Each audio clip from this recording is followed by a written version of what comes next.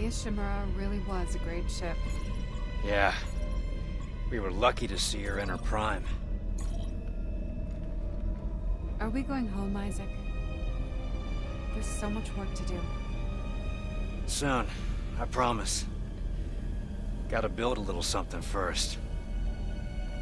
For me? What is it? It's a surprise, sweetie.